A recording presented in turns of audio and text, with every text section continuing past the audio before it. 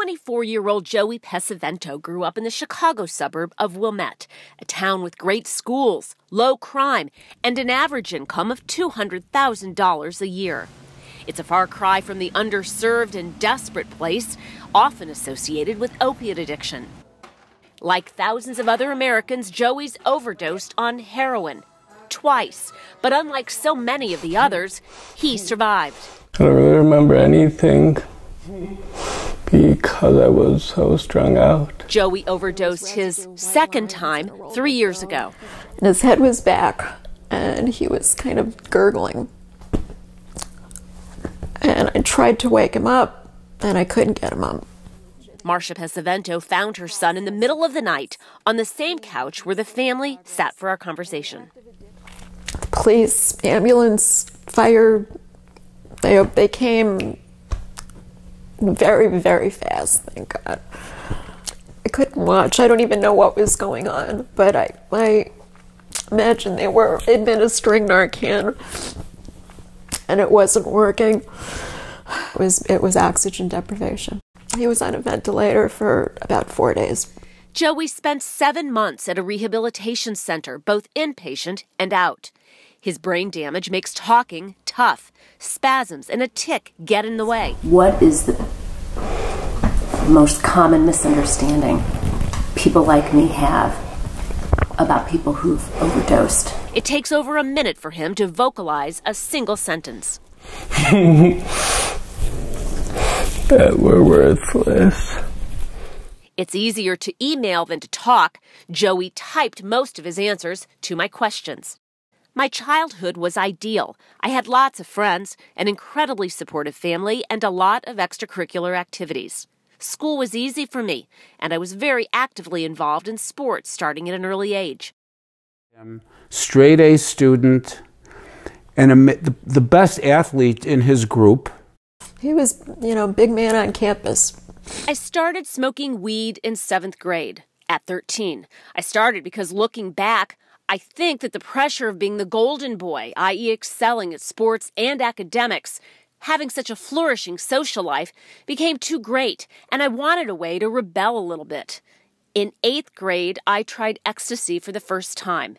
Then freshman year, Xanax. Then sophomore year, I severely dislocated my thumb in a hockey game, which required me having surgery that involved putting three pins in my hand, for which I was prescribed hydrocodone.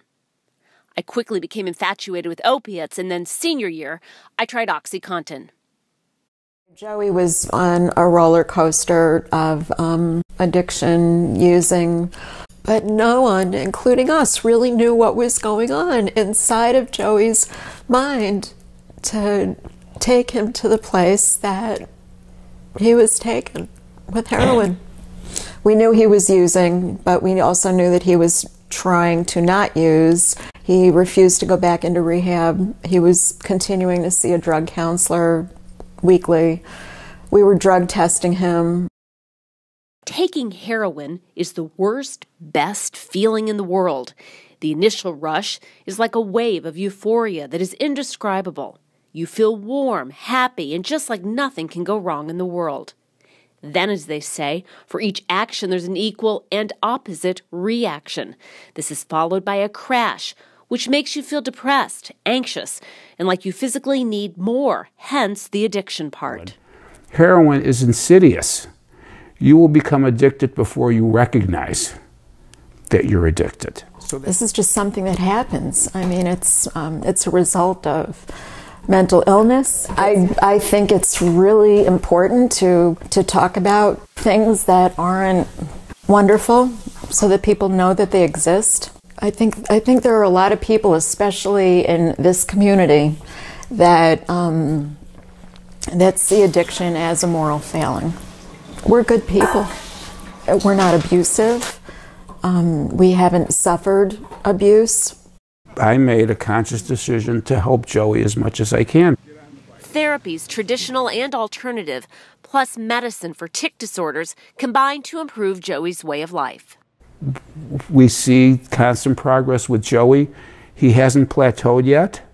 We, we still have a road to travel, and none of us really knows how long um, that will be or how much time it'll take, but we're we're in it for um, for the long haul.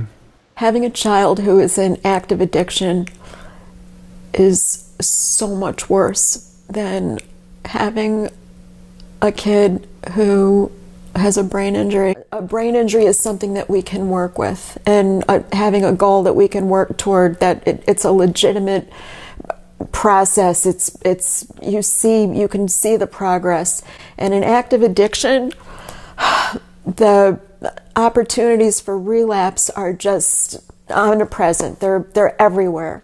Check out Joey's answer to my question What brings you joy? Honestly, as cliche as this may sound, the little things in life, like Nala, my dog, and watching the Cubs and Blackhawks, and the seasons changing. I don't know, and I don't mean to sound pretentious, but I think that surviving what I did and being able to talk or write about it kind of says something. As much as we have uncertainty, we also, I think, all three of us have hope, um, and that makes it that makes every day easier to deal with. Julie Peterson, Wilmette, Illinois.